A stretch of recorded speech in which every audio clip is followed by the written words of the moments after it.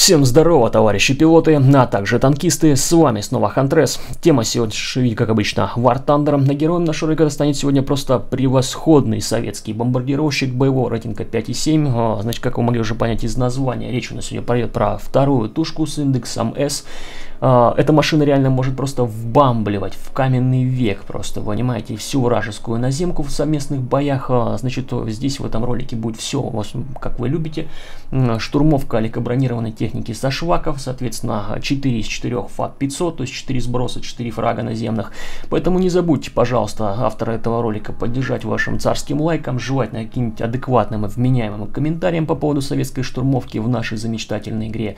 Но мы вернемся, как говорится, к нашим вертушкам. Значит, первое, с чего хочешь начать данный ролик, это то, что на протяжении большинства хронометража этого видео, соответственно, вы будете наблюдать, что я буду бомбить всякие там леопарды, F40 МТЦ, какие-нибудь КПЗшки и так далее и тому подобное. Не делайте так.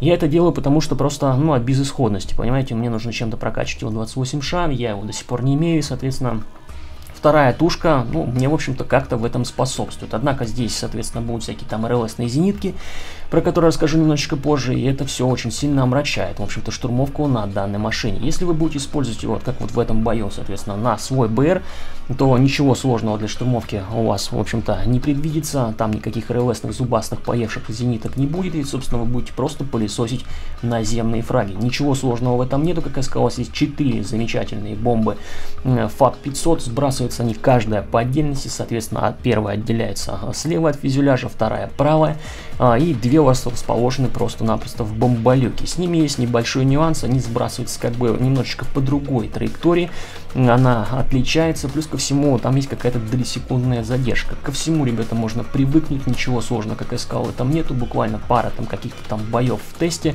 э, возможно в полигоне, ну или, соответственно, можете даже обучаться этому в процессе э, просто штурмовки в совместных боях, и, собственно, как я сказал, ко всему этому вы быстро привыкнете и будете класть 4 из 4. Правда, при условии, конечно, что вам никто особо мешать не будет.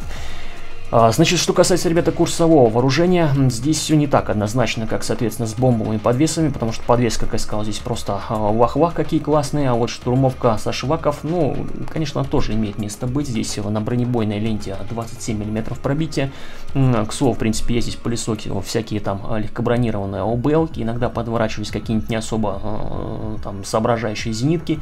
Ну и, в принципе, по в принципе, всякими там, знаете, не особо какими-то сообразительным получалось там пострелять, что-то какие-то фраги, да, и ассисты подворачивать, что, в принципе, достаточно неплохо.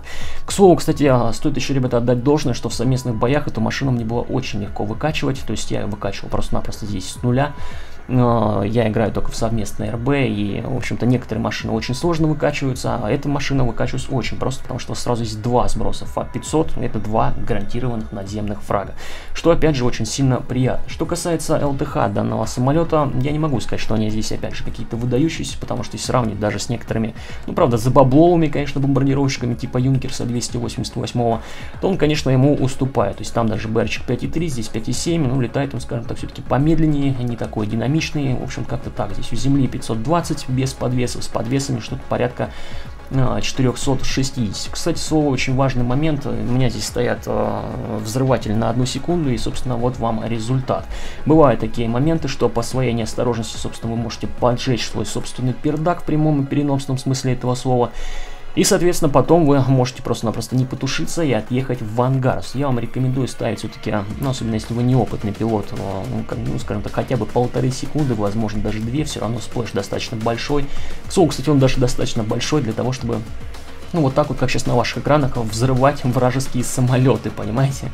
То есть я, э, сам того даже не подозревая, просто уничтожил и АОБЛ, и Швальбу, который меня преследовал. Это, конечно, очень сильно приятно. Поэтому, собственно, учтите, что разлет осколков на э, этой бомбе очень, очень высокий, и вы можете просто-напросто уничтожить или очень сильно повредить свою собственную машину. Что касается, ребята, БРчика повыше для штурмовки, вы, собственно, видите то, что сейчас произойдет на ваших экранах. Соответственно, я убил вражеский леопард, набиженка, естественно, возьмет сейчас гепардника с РЛСом, и, соответственно, вся моя штурмовка закончится тем, что я успею сделать только два наземных фрага. Сейчас я забомблю тут еще ПТшку, соответственно, против РЛСов бомберов не тянет, в общем-то, никак вообще, потому что огромный просто кусок сарая, соответственно, там РЛС, как вы понимаете, одной кнопкой он захватывает цель, соответственно, второй кнопкой он вас поражает, и вы фактически никак не можете с этим бороться. К слову, даже, в принципе, если бы у меня был здесь какой-нибудь Ил-28 простой с такими же подвесами, да, вряд ли бы тоже успел бы как-то а, от него сывыгиться, потому что цель немногим на самом деле быстрее